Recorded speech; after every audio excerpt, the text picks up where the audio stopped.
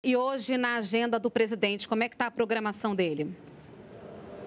Olha, Renata, a agenda do presidente Jair Bolsonaro nesta sexta-feira está sem compromissos oficiais. E nessa semana, no início da semana, ele disse em uma entrevista que quando a agenda dele está assim, sem despachos com ministros ou assessores, é porque ele usa esse tempo para estudar projetos e se aprofundar em assuntos de interesse do governo. Renata.